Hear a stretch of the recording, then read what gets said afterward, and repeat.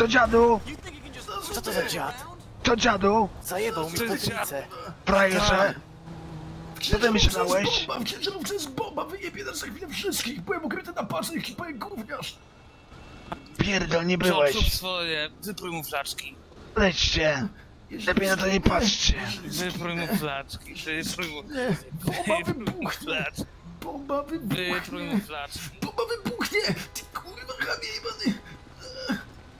Au! Au! Kurwa, znowu na muć.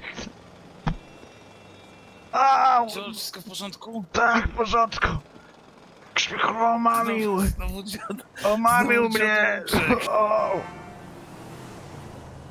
Oszukał mnie, oszukał. Co za dziad?